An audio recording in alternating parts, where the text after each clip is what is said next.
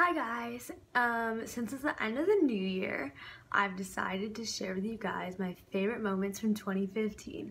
There were definitely a lot. This year was probably the best year of my life considering I graduated and I went off to college, so I've decided to share with you guys a memory or like a big moment that happened every single month of this year.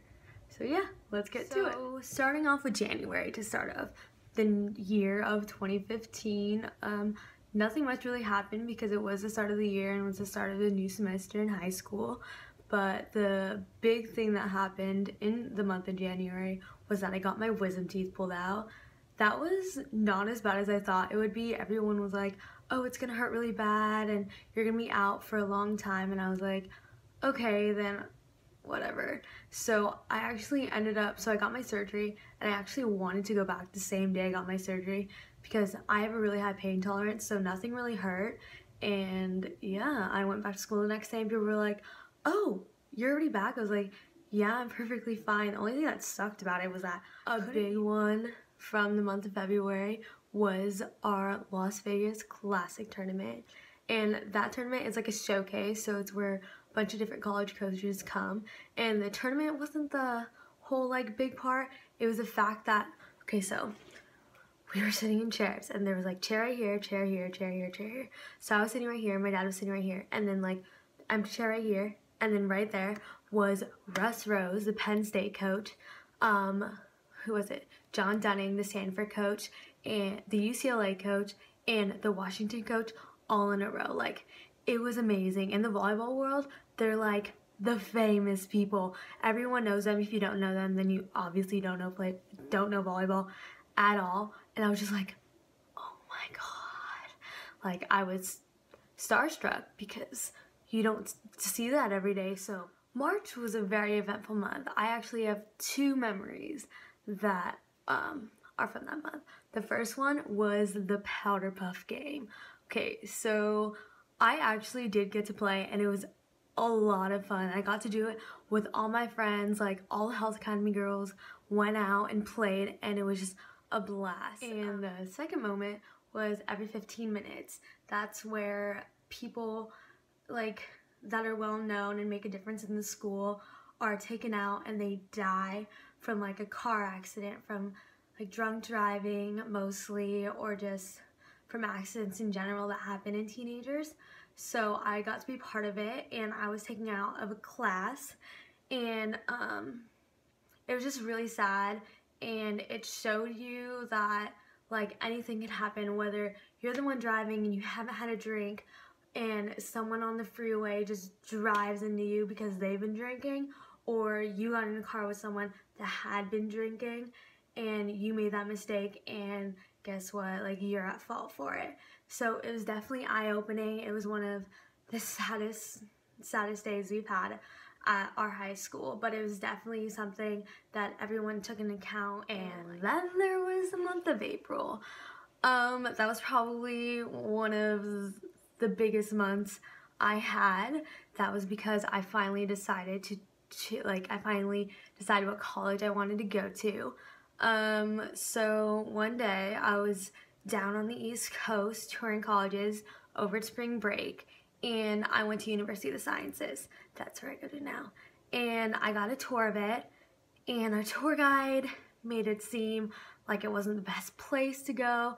After we left there, I was like, I'm not going here. Like, she made it awful, but I still had to go because I had to practice with the team later on that day because I contacted the coach and he said I could practice with them.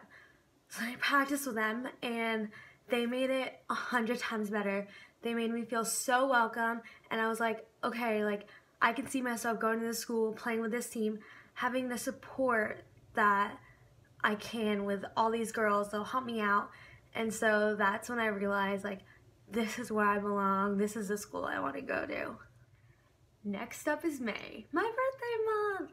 Um, there were quite a few memories here too. Okay, so the first memory was senior ball. It was probably one of the most stressful and best nights of my life. Stressful because like of all the plans, but fun because like everybody let loose, everybody just like had fun. They didn't really care about life. They just did what they wanted. Everyone looked so beautiful that night. Like, and of course, the big one from that month was graduation. I graduated high school on May 29th, my brother's birthday actually, and I was so happy. Like, you were done with high school, done with those four years of your life that you thought would never end. Um, it was very exciting, but also very sad. We actually cried at the end. Um, but it was nice. Like, what? Everyone was off to college and everyone going their separate and ways. Then there was June. Um, that month was actually very eventful too. I have two memories from that month. The first memory was orientation for college. Orientation was in the summer and it was only for two days, but there were like three sessions, so you got to pick which session you want to go to. I went to the first one and I went with two of the volleyball girls, so I knew people. But um, that that orientation really showed me like who I wanted to be and what I wanted to do with my like in college. We met a lot of new people. We made a lot of new friends that we knew we were gonna have when we came back to school. the school. second memory from that month was going to junior nationals and that was because it was in New Orleans like it was so amazing first of all though it was hot but that's okay and we actually did really well I was very surprised we didn't go with our whole team that's okay because the girls we went with made it incredible we ate a lot we went on uh what did we go on an a swamp tour and I got to hold a baby alligator. We went on a ghost tour. That was just all right. Um, but we just like spent time with each other. In the month of July, my favorite memory was going to Santa Cruz with my friends Danielle, Mackenzie, and Caitlin. We had such a great time. It was very relaxing. We were just there for the weekend. There's actually supposed to be a lot more of us. We were supposed to go camping, but we ended up just going with the with the four of us, and we stayed overnight at a hotel. We went to the beach, we relaxed, we did some shopping, and we just had some great times with each other, had a lot of laughs, sang really badly in the car, as you can tell if you wanted to watch it in one of my vlogs. And yeah, we just got a lot. August, that was probably the best month out of the whole entire year. That's because I finally moved into my dorm and went off to college. I left pretty early because of volleyball. So I got to meet all of my teammates. We got very close in the first week because we went there really early. And then a week later, we moved into our dorms and I love it. I loved every moment of it. I was sad at the beginning because I was like, my gosh, I have to leave my friends, my family. But then after they left and I finally got settled in, I just realized like, this is where my home is now and it will be for the next six years and I'm absolutely September, September, September, probably the highlight of our first semester because we had the Catalina wine mixer. It was like our volleyball formal and it was during Pope weekend because everybody left because the Pope was there and we didn't have any games and we're like, okay, we're gonna have our volleyball formal then.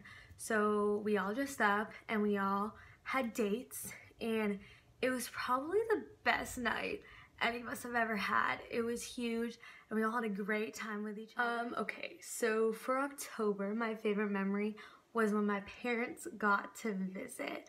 They came down October 31st, actually so the last day of October, and they came down for senior day. So they actually watched me play a game. It was probably my best game that I've had all season. Um, and yeah, they got to watch that and then we went to go around and eat and I got to show them around. It was just nice having them because I haven't seen them in a few months. So for them to for them being there, like it was awesome. Like I miss their support and I miss them so much. And we just had a great time together, like got some some quality time with them.